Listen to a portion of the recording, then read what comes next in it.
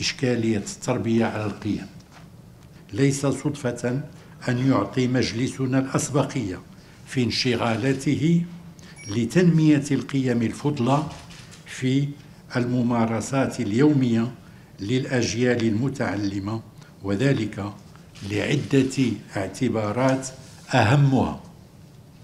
أولا الضرورة القصوى.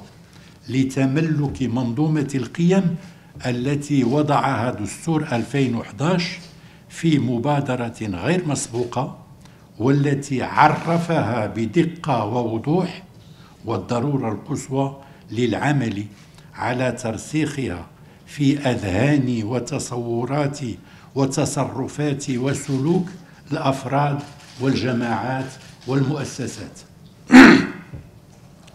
ثانيا التأكيد على الدور المركزي الذي لا محيد منه الموكول للمدرسة في القيام الأمثل في القيام الأمثل بإحدى وظائفها الجوهرية المتمثلة في التنشئة الاجتماعية المبكرة للمتعلمات والمتعلمين وفي تربيتهم على القيم في تكامل مع باقي التنظيمات والفعاليات للدولة والمجتمع ولا سيما الأسرة والهيئات السياسية والنقابية والجمعيات المدنية والحقوقية والمؤسسات الثقافية مع التأكيد على الدور المتزايد لوسائل الإعلام في هذا الشأن.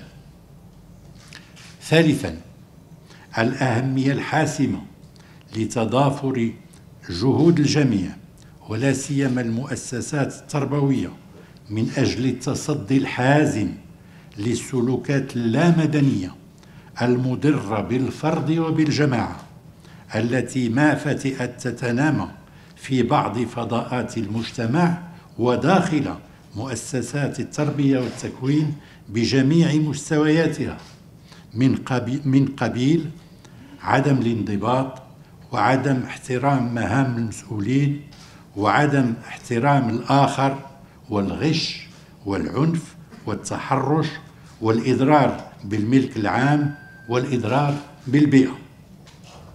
رابعا الحاجة الملحة لبلادنا في هذه المحطة التاريخية إلى تكوين مواطن تكوين المواطن الواعي القادر على الموازنة بين حقوقه وواجباته المتشبت بهويته المتعددة الروافد وبتاريخه وحضارته ووطنه الملتزم بمسؤولياته تجاه نفسه وأسرته ومجتمعه المدرك لمكانته ودوره في المجتمع.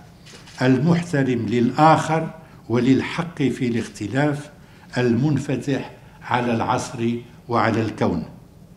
هذه الاعتبارات وغيرها هي التي تتأسس عليها التوصيات التي يقترحها تقرير المجلس الذي سنعرض عليكم محاوره ومضامنه الأساسية بعد قليل.